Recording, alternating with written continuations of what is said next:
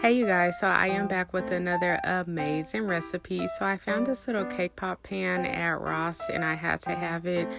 I liked it because it was different. I did not know what I was going to make, but I decided to bake these little cookie butter bonbons. Don't ask me what a bonbon is. These are bonbons. I just be making stuff up.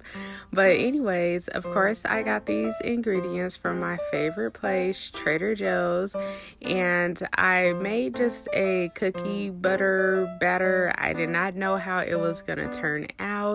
So I added the mascarpone cheese, cream cheese, and the cookie butter.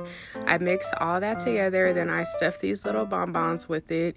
You guys, this recipe, it they turned out good. I know they look a little crazy.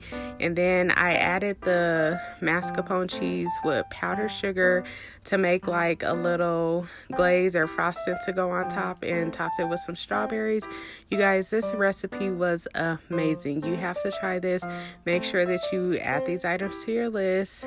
This is how the inside looked. The inside did not look how I expected, but it was still delicious. If you like this video and want to see more fun food finds and amazing recipes, make sure you follow for more. Bye.